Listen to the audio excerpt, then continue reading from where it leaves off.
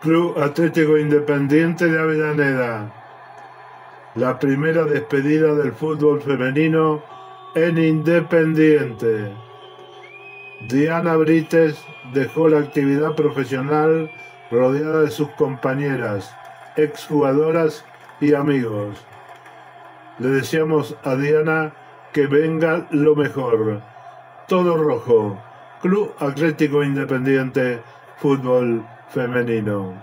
Emiliano Penelas, Daniel Galoto, La Caldera del Diablo e Independiente el Gran Campeón.